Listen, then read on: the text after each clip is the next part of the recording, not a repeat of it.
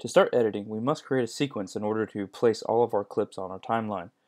There are several ways to do it, but one of the simplest ways to do it is just to pick one of your clips in your project pane and then just drag it over to the timeline area and then drop it in.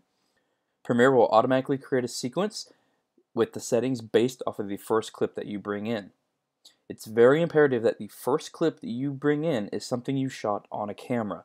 You don't want to, say, import something from the internet that is maybe a very small image and then throw that down on the timeline because then it will make your entire sequence that small. And then when you go to bring in something from your camera that you've shot, Premiere will automatically shrink it down to be that very small, same resolution as that file you downloaded from the internet. And you don't want that.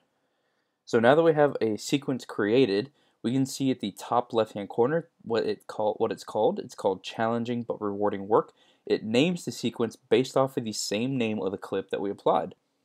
But this might not be what you're looking for, but that's actually really easily changed. If you go into the project pane, I dragged the clip challenging but rewarding work.mov, but you see now we have two.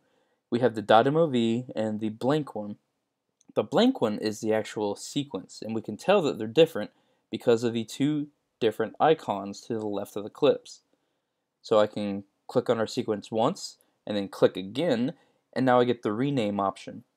So I'll just call this uh, Greyhounds sequence, for instance, and hit enter.